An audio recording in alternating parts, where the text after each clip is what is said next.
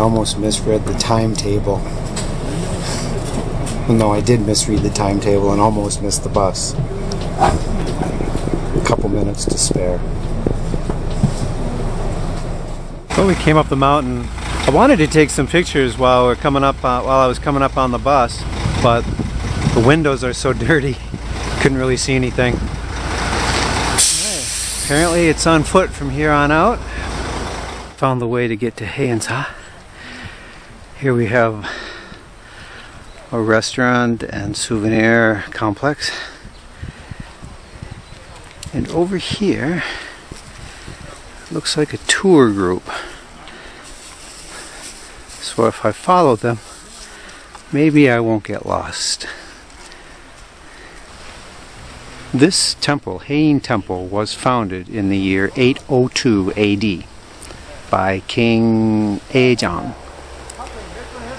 And it is presumed that this elm tree was planted at the commemoration ceremony. And it thrived for uh, a long time before it died in 1945. That's amazing.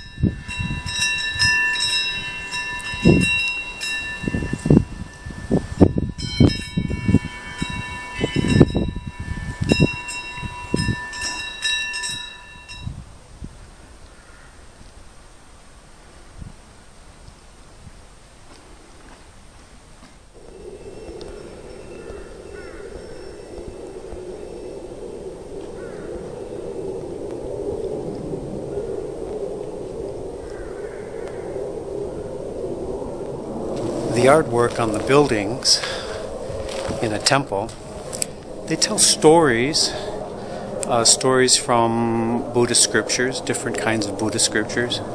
There's no one Buddhist scripture really. It's uh, kind of been pretty fluid through the ages. But here, This is where the Tripitaka Koreana is kept. And I'm going to go up those steps, see if I can get a peek.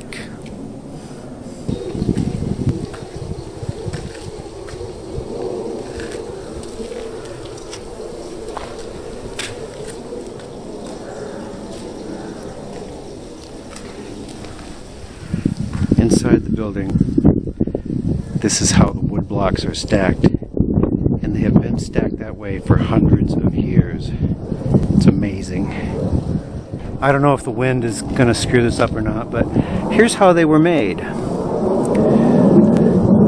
The wood for the wood blocks uh, was soaked in sea mud or brine to soften the wood. And then a manuscript was written and it was transcribed onto the wood. And then the woodblock was carved. Mistakes were removed. And then printed. Not supposed to use a camera, but there's nobody out here right now. These slats in the wall, it's just a wall with these slats. It keeps the inside at a relatively good temperature and humidity at all times. I don't know if you can see, but I can see some of the blocks in there. They have little tags on them, little white tags. Okay, these are big pictures out here in the courtyard. And you can see on the right the slats, the sun shining through. And you can see the wood blocks. That's how they're stacked in there, and I could see the little white tags on each one through the slats. Fascinating. And that up there is the complex where the Tripitaka Koreana is housed and has been housed for a long, long, long time.